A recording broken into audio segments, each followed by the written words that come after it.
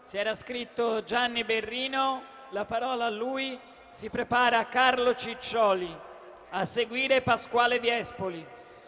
Sarò brevissimo, grazie a tutti e grazie di essere qua, ce lo diciamo, ce lo diciamo perché quando ho deciso di entrare in Fratelli d'Italia nel dicembre del 2012 non pensavo che ci saremmo trovati così tanti dopo così pochi anni. Abbiamo traguardato il, il congresso di Fiuggi e nel frattempo sono successi un po' di miracoli, come nella, nella mia Liguria, l'ha detto prima il Presidente Totti, là abbiamo vinto, abbiamo vinto e siamo cresciuti in tutte le città.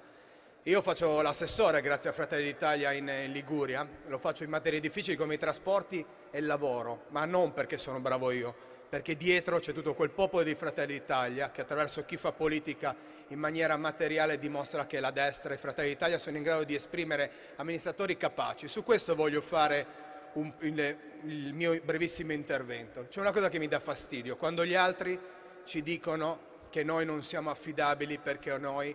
non siamo moderati. Io vorrei sapere se rispetto a quelli che ci dicono che non siamo moderati sto tacendo quindi il fatto, anzi accusandoci quindi di essere estremisti perché chi non è moderato, per chi lo dice in quel modo è estremista, vorrei saperlo dire se non siamo moderati noi, che amiamo le leggi naturali,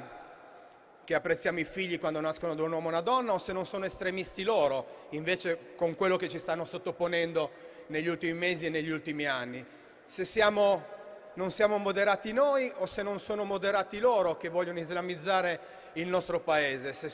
non siamo moderati noi o se non sono moderati loro a impedirci di fare il presepe o l'albero di Natale, se non siamo moderati noi o non sono moderati loro a sostenere che l'Italia deve essere un paese multiculturale dalla nostra cultura millenaria,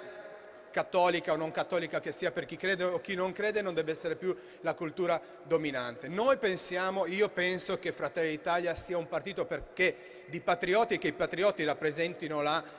moderazione in questo paese, la moderazione che vuol dire essere italiani. Se poi invece ci dicono che non, siamo, che non siamo moderati perché a volte ci scaldiamo sui nostri temi, allora non lo siamo, ma non siamo moderati non per, non essere, non per essere offesi, noi non siamo moderati quando ci fanno